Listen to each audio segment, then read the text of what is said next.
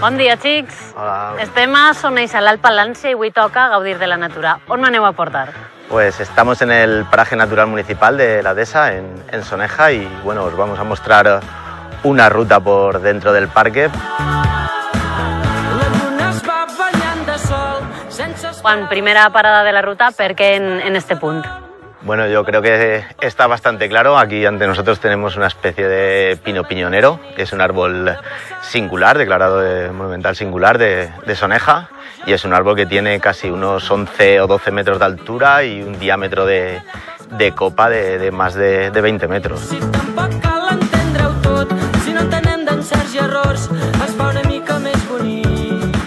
La Asociación Soneja Sostenible, junto con otra asociación que pertenece a Valencia, tenemos la custodia del territorio de aquí de la DESA. Y lo que nos dedicamos es a, a repoblar, a divulgar y a mejorar el entorno que aquí tenemos.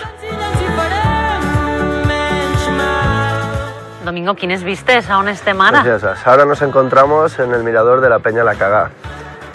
Una, parte, una de las partes para visitar dentro del Parque Natural Municipal. Y bueno, aquí nos encontramos dentro de la reserva. Dentro del parque tenemos una reserva, micro reserva de, de flora. Entre las plantas que podemos, por ejemplo, que tenemos ahora a nuestro alrededor, está la Biscutela calducci.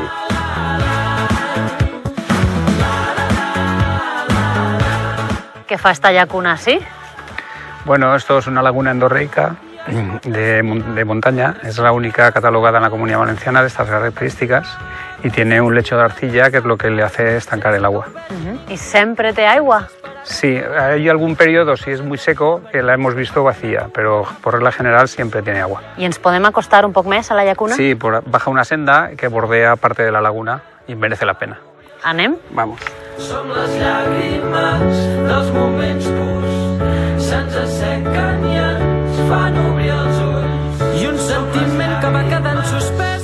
I dins de la bassa de la llacuna? Muy bien, dentro de la laguna hay una planta muy, muy característica que es endémica, que es el eh, Polygonum amphibium, y rodeado de, de eneas y juncos como vegetación de, de laguna. El soroll de les granotes ens acompanya. Quina és la fauna que habita esta llacuna? Bueno, la, la fauna principal que tiene la laguna puede ser el, el gallipato, el sapo de espuelas, sapo partero, luego también también esa especie de, de cigüeña blanca, de, de garza. Xics, este lloc és com un oasi. Una vegada més, la natura ens sorprèn amb racons que hem de cuidar per a que ens duren per a sempre. Ha sigut un plaer. Gracias.